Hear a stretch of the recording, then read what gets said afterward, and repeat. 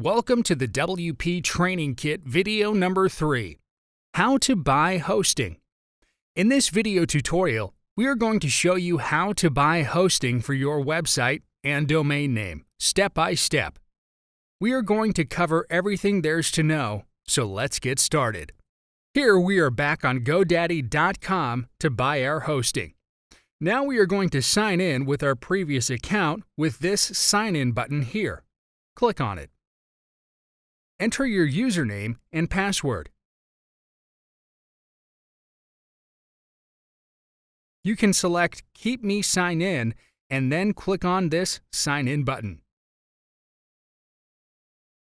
Once logged in, you'll see your previous purchase details.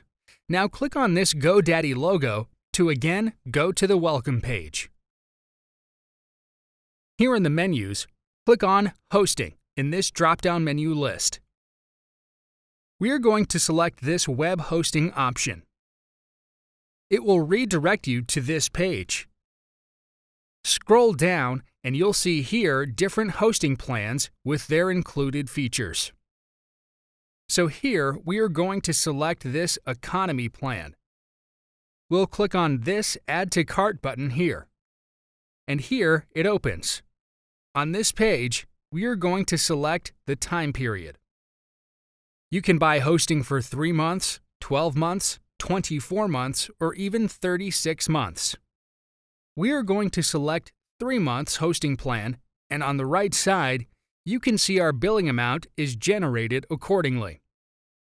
So by default, website backup is added. You can also add other options as well if you want. Whatever you'll choose, charges will automatically add in your billing amount.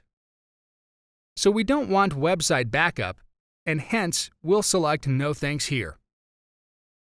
You can add it if you want and pay accordingly, but for me, it's not required. So yes, now I'm going to click on this Continue button at the bottom. And here, I am again on the checkout page. As previously, I have added PayPal, so it is here by default. Now you can select the time period for your cPanel.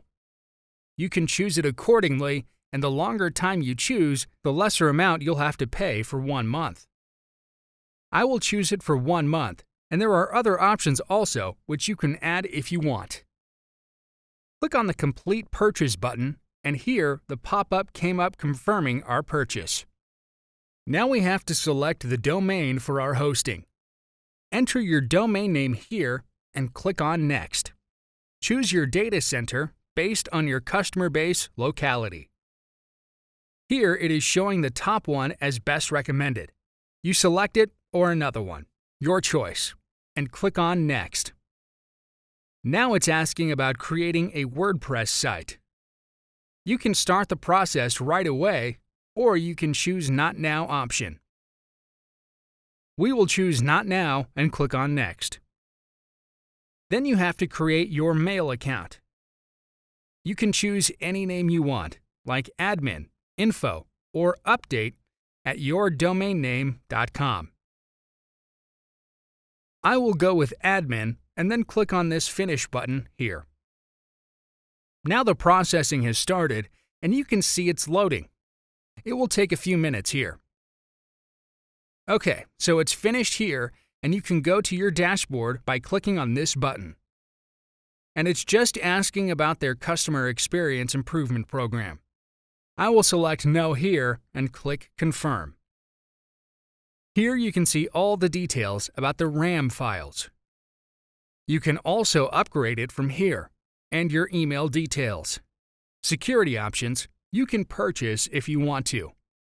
And this is your cPanel login details here, which are important. So here it is, pretty much everything. Thank you for watching. In the next video, we will learn about site redirection and how you can set it up for yourself. See you in the next video tutorial.